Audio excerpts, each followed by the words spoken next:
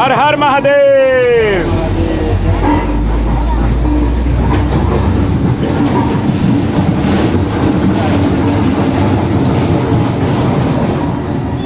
देखो, मैं आपके पास इसलिए रुका हूँ।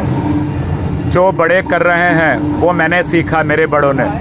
जो यहाँ बैठे हुए बड़े करेंगे, वो ये सीखेगा। यहाँ कोई सिगरेट पिएगा, तंबाकू खाएगा, ये बच्चा भी सीखेगा। तो या तो अपने बच्चों को दूर रखो, या इन लोगों को बोलो कि बच्चों के सामने ये सब ना करें। जहाँ बच्चे होते हैं, वहाँ सिगरेट तंबाकू का प्रयोग वर्जित रखिए, वरना बच्चे भी वही सीख जाते हैं। जय हिंद।